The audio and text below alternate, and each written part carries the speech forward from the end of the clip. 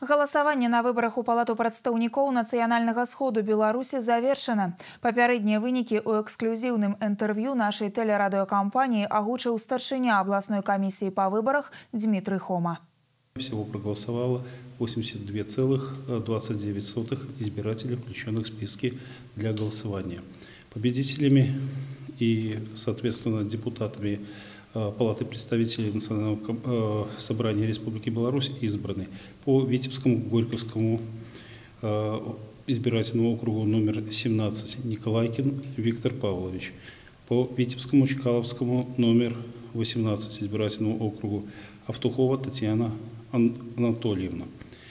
Витебский железнодорожный избирательный округ номер 19. Горваль Светлана Александровна. Витебский Октябрьский избирательный округ номер 20. Егоров Алексей Владимирович. Городокский избирательный округ номер 21. Полякова Ирина Михайловна. Дошицкий избирательный округ номер 22. Андрейченко Владимир Павлович. Лепельский избирательный округ номер 23. Мартынов Игорь Феликсович.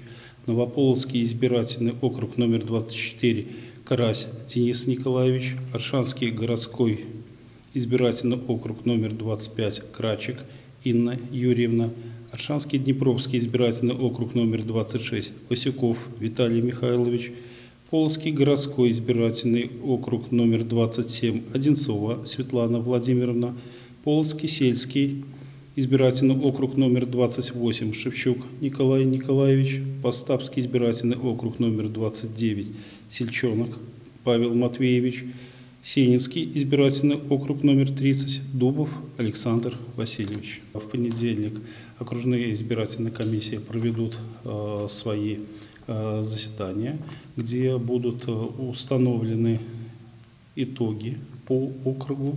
Затем э, во вторник они передают протоколы в Витебскую областную избирательную комиссию. Комиссия их обрабатывает, подготавливает документы. И в среду предварительно на 8 часов э, будет проведено заседание Витебской областной избирательной комиссии, где планируется установить итоги голосования на территории Витебской области.